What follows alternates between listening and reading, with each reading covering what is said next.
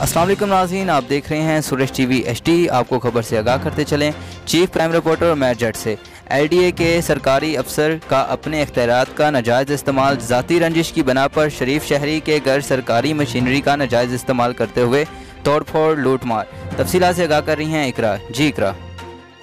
तफसीत के मुताबिक L D A के सरकारी अफसर शहबाज ने अपने सरकारी इख्तियार का नाजायज़ इस्तेमाल करते हुए शरीफ शहरी मोहम्मद अफजल घुरकी जो कि एक ज़मींदार है, इसकी रिहाइश गाह पड़की हडियारे में एल डी ए की सरकारी मशीनरी का नाजायज़ इस्तेमाल करते हुए ज़ाती रंजिश की बिना पर घर की चादर, चार दीवारी का तकदस पैमाल करते हुए घर की तोड़फोड़ की और जरूरती, ज़रूरी कागजात, रकम की लूट मार की गई, जो कि सरासर ज़्यादा है।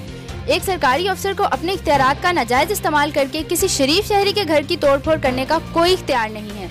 मोहम्मद अफजल घुरकी ने वज़ीर अला पंजाब पुलिस की आला एक काम और डायरेक्टर एल डी ए से अपील की है कि मुझे इंसाफ दिया जाए। जो मेरे साथ ज़्यादा की गई है, उस शहबाज नामी अफसर के खिलाफ कानूनी कार्रवाई की जाए, ताकि इस शख्स को दोबारा किसी शरीफ शहरी के घर दाखिल होकर सरकारी मशीनरी का गलत इस्तेमाल न करके तोड़ फोड़ करने की ज़रूरत ना हो।